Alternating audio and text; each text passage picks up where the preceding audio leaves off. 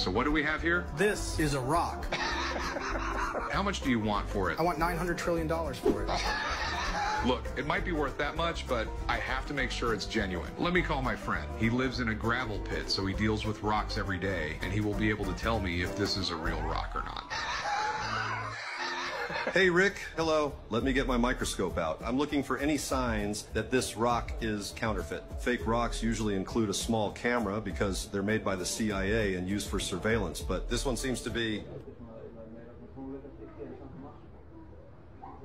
a genuine piece. Well, thank you for coming in. So, I can offer you a bag of Doritos for it. Come on, man. Give me one billion and we call it a day. Remember, I have to take all the risks. Plus, I have to repair it, polish it, lick it, rebuild it, find batteries for it, frame it, and hang it on the wall. Best I can do is a corn dog and a peanut butter and jelly sandwich. Okay, let's do it. All right, that's a deal. So, what do we have here? This is a rock. How much do you want for it? I want $900 trillion for it. Look, it might be worth that much, but I have to make sure it's genuine. Let me call my friend. He lives in a gravel pit, so he deals with rocks every day, and he will be able to tell me if this is a real rock or not. Hey, Rick. Hello. Let me get my microscope out. I'm looking for any signs that this rock is counterfeit. Fake rocks usually include a small camera because they're made by the CIA and used for surveillance, but this one seems to be